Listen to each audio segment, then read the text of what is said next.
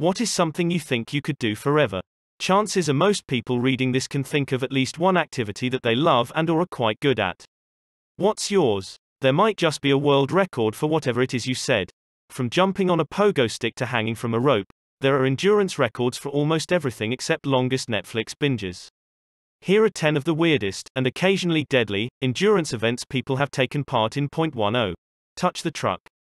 Lots of people want to get their hands on a brand new vehicle, but several competitions have tested this desire to the limit.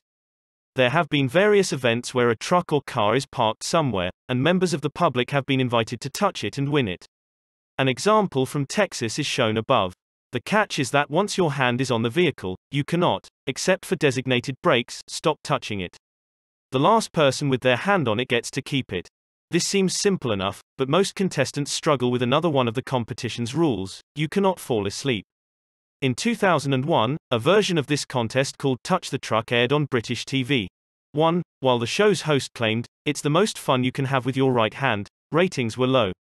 Something about people standing around mostly motionless failed to resonate with audience. After 81 hours, 43 minutes, and 31 seconds, Jerry Middleton claimed victory and won the truck.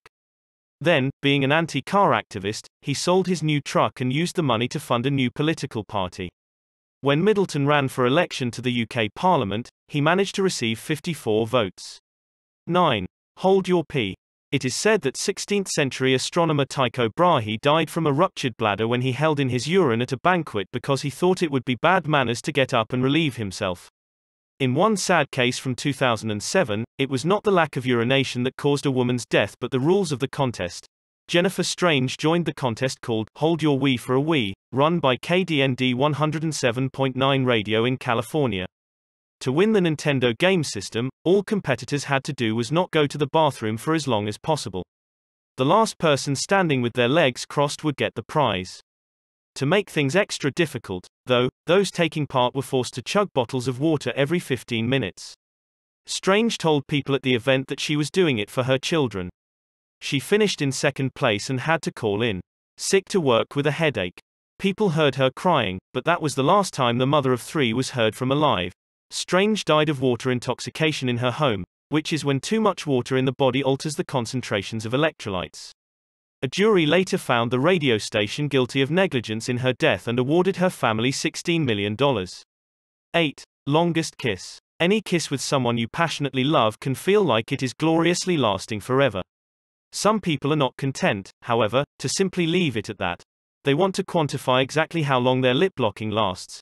For those seeking to break the record for longest continuous kiss, there are a series of guidelines that have to be followed. 3. Obviously, once the kiss begins, the lips of the couple are not allowed to part, but other rules are less romantic. If one of the pair falls asleep during the kiss, they are disqualified. And couples must be accompanied to the bathroom by an official to check that they do not stop kissing. Unfortunately, diapers and incontinence pads are also banned for competitors. The current record is held by Ekahayan Laksana Tiranarat of Thailand, pictured above, who managed to remain locked at the lips for 58 hours, 35 minutes, and 58 seconds on Valentine's Day 2013.7.danceathons.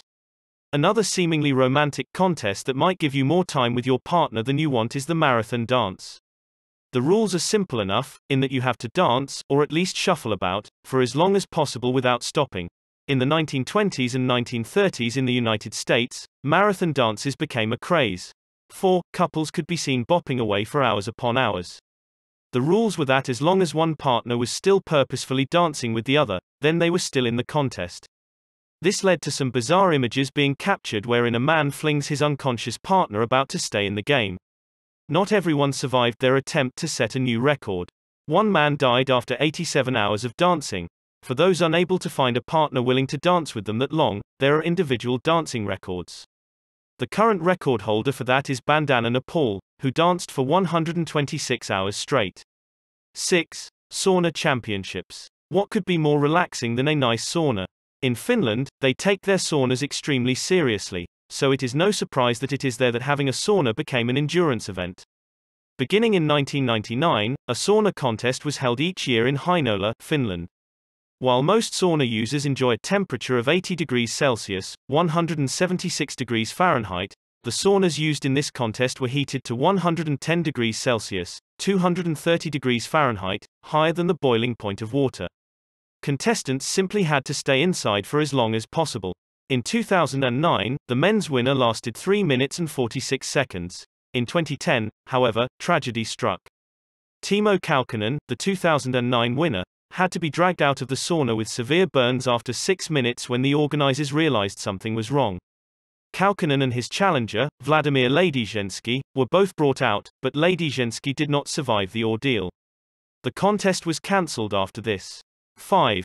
Cold endurance. The pain of extreme cold is often compared to that of burning. Holding your hand in iced water can become excruciating after less than a minute.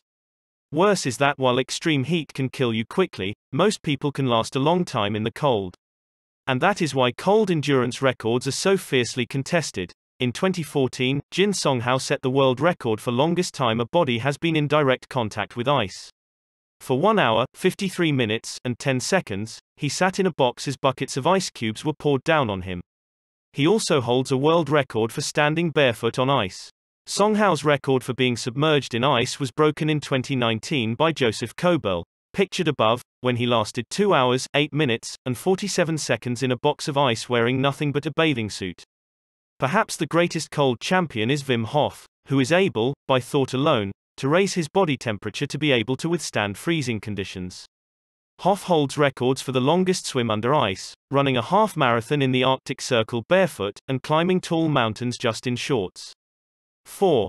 Pipe smoking. It is now a thankfully rare thing to wander into the foul cloud left behind a pipe smoker in the street.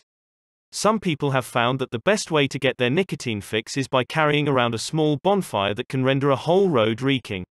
Yet there are those who would turn even this noxious habit into an endurance event. Slow smoking contests see participants given a set amount of tobacco, and they are then challenged to make it last for as long as possible. Elaborate rules have been drawn up that govern such events. Participants in this glamorous sport are told that they may remove the mouthpiece from the pipe for a few seconds during the competition in order to get any liquid out of it by knocking it on the sheet of paper or by blowing through it. But they must not blow into the bowl of the pipe through the nose, that is cause for instant disqualification. One of the worst of offenses is to burn the bottom of the pipe. Those found to have smoked their way through the tobacco and started inhaling fumes from the wood forfeit their place in the contest. Point 3. Ferret legging. There is a legend that the sport of ferret legging dates back to a time when only wealthy people were allowed to keep ferrets to be used in hunting. When a poacher was about to be caught with a ferret, he would hide it down his trousers.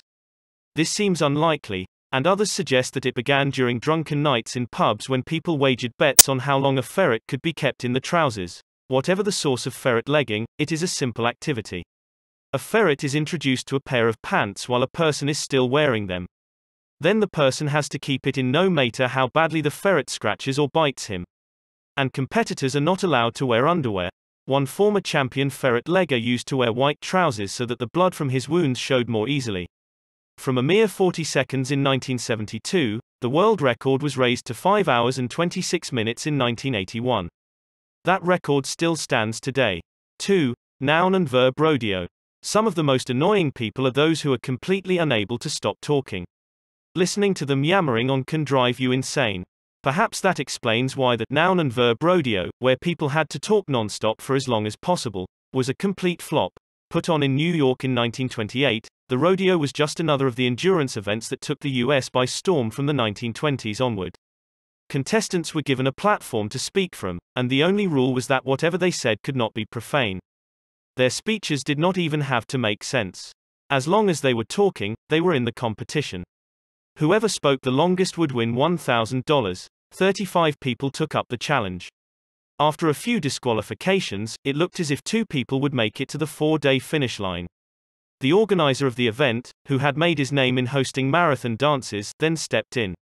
Attendance had been negligible, and he had lost $10,000 already. He stopped the contest 15 minutes before the four day end point and claimed that as it was a draw, no one would win the money. There was never another noun and verb rodeo. Point 1. Flagpole sitting. One of the final two contestants of the noun and verb rodeo was a well known practitioner of one of the most famous endurance events of the period, flagpole sitting. This fad was exactly what it sounds like. People would climb up a pole and sit there for as long as they could. While it may seem like a terribly modern event, in fact, the modern flagpole sitters were following in footsteps of saints like Simeon Stylites, who stayed up on pillars for years at a time. Flagpole sitting began in 1924, when Alvin shipwreck Kelly climbed a pole in Hollywood and stayed there for 13 hours and 13 minutes. He had been paid to do this stunt by a theater looking to attract a crowd. It worked, and soon, Kelly and many others were being paid huge sums to do nothing, but to do it at height. Soon, the record for flagpole sitting was being contested across the United States, and sitters would last for days. By the end of the 1920s, the record stood at 51 days. Interest in flagpole sitting, however, disappeared with the coming of the Great Depression.